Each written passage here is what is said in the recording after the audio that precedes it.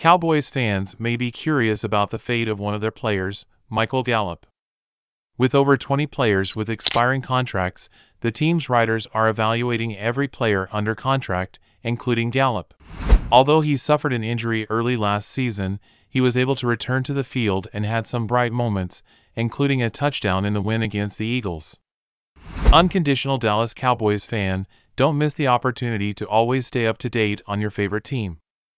Subscribe to our channel now and enable notifications so you don't miss any details about the schedule and the latest news involving the Dallas Cowboys in the NFL.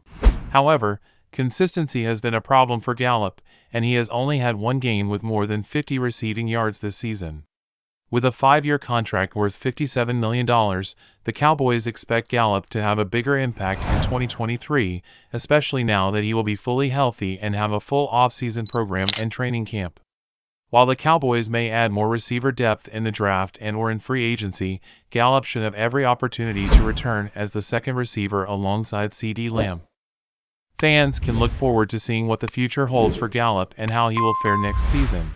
Dallas Cowboys fan, Feel free to comment below on what you think of Gallup. Let me know more. Leave your like and comment now as it is very important for the Dallas Cowboys. In advance, I ask you to stay tuned as I will update you any moment with the latest news and the Dallas Cowboys schedule.